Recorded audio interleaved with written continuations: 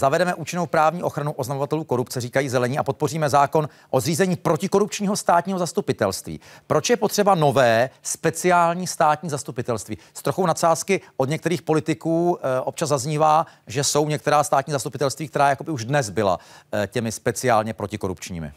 Tak já bych ráda za zelené řekla, že eh, pro nás boj eh, proti korupci není prázdná fráze, pro nás je to principiální věc. Předchozí vlády tady měly v akčních plánech právě obojí, jak zákon, nový zákon o státním zastupitelství, tak ochranu whistleblowerů, ale nenaplnili ho. Takže pak, eh, pak se ten pojem trochu vyprazňuje. To je, to je skutečnost. Já bych Také ale ráda jste v jedné řekla, vládě byli, ale to už je. Uh, já bych ráda řekla, že, že pro nás to je principiální věc, že s námi žádný korupční skandál spojen není.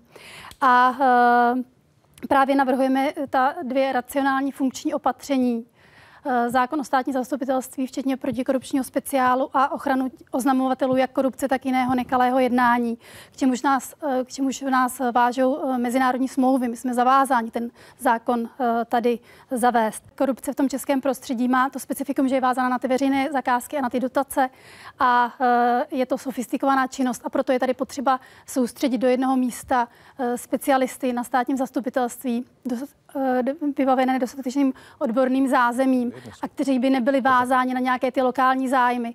A uh, on ten nový zákon o státním zastupitelství byl předložen, on je ve sněmovně, ten protikorupční speciál tam je, akorát nebyla politická vůle ho přijmout, už je tam skoro rok a půl.